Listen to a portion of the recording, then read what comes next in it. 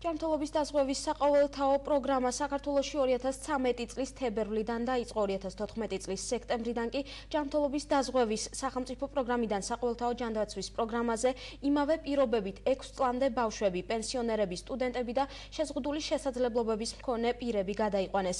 მოქალაქეთა ნაწილი პროგრამას ისევ აკრიტიკებს და აცხადებენ, რომ მომსახურება სრულყოფილი არ არის. დეტალებს ჩვენი კორესპონდენტი ერეკლე ცოცანიძე არკვევდა ვნახოთ სიუჟეტი.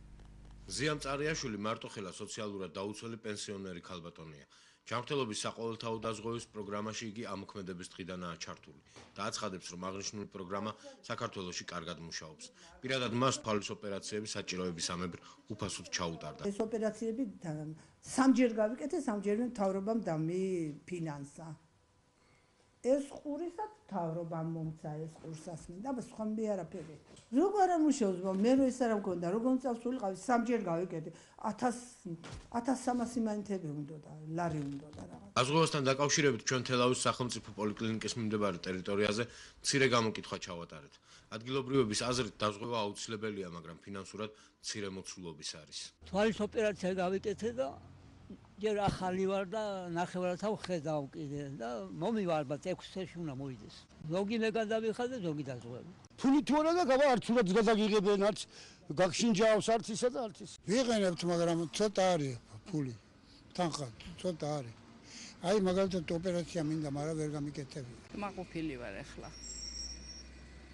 იმიტომ რომ მე შაქარი მაქვს შილო რაღაცა რამე და საოპერაციო და ის არა ვარ და ისე აი ლაბორატორიულად უფასოდ გამიგეთეს, აბა სხვა რა გითხრათ.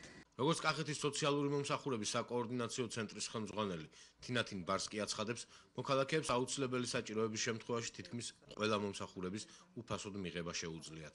საყოველთაო ჯანდაცვის პროგრამა მოიცავს ამბულატორიულ მომსახურებას, ეს არის გადაუდებელი ამბულატორიული მომსახურება. გადაუდებელი სტაციონარული მომსახურება აგრეთვე შეუძლია ამ პროგრამით მოსარგებლეს ჩაიტაროს გეგმიური ოპერაციული მკურნალობა. ეს არის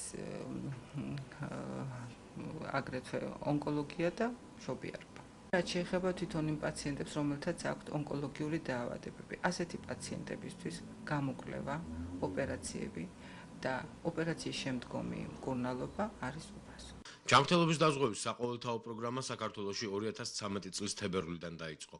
2014 წლის სექტემბრიდან კი ჯანმრთელობის დაზღვევის სახელმწიფო პროგრამიდან საყოველთაო ჯანდაცვის პროგრამაზე იმავე პირობით 6 წლამდე ბავშვები, პენსიონერები, სტუდენტები და შეზღუდული შესაძლებლობის მქონე პირები გადაიყვანეს.